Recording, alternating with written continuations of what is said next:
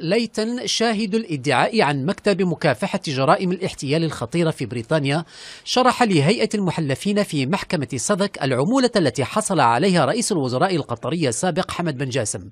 كونه كان مسؤولا عن إنشاء جداول بيانات المستثمرين التي أظهرت نسبا عالية تتجاوز ما حصل عليه مساهمون من الصين واليابان لتأمين ضخ مليارات الجنيهات في ذروة الأزمة المالية عام 2008 وقال ليتن إنه لم يكن على علم بتفاصيل العقود الاستشارية مع قطر التي يعتبرها الإدعاء ستارا لدفع رشا إلا بعد فتح السلطات البريطانية التحقيق في جمع البنك رأس مال مشبوه.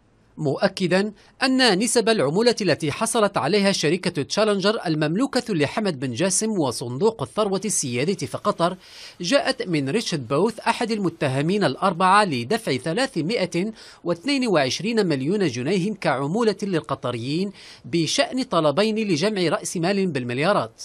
وتعرفت المحكمة على أن مؤسسات ضخت أموالا في البنك من البحرين والكويت كانت تملكها قطر.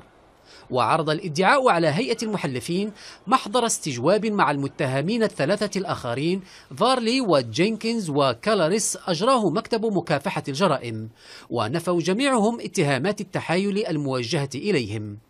وستستمر هذه المحاكمة لأشهر في أول ملاحقة لمصرفيين في العالم مرتبطة بالأزمة المالية. مصطفى زارو العربية لندن.